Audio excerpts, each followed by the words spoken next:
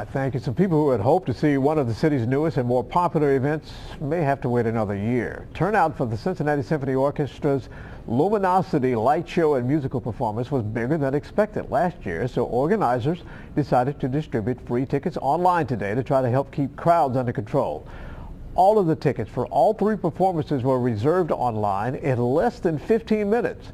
Problem is, some of those tickets are now popping up online for sale at huge prices.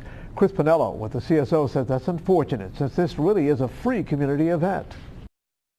The, the, limit was four. So if someone got more than four tickets online this morning, that order is subject to be uh, voided. Or you're thinking about buying tickets online, I would just be cautious about that because no one actually has their Lumenocity tickets yet either. Lumenocity is scheduled to take place in Washington Park and over the Rhine August 1st, 2nd, and 3rd.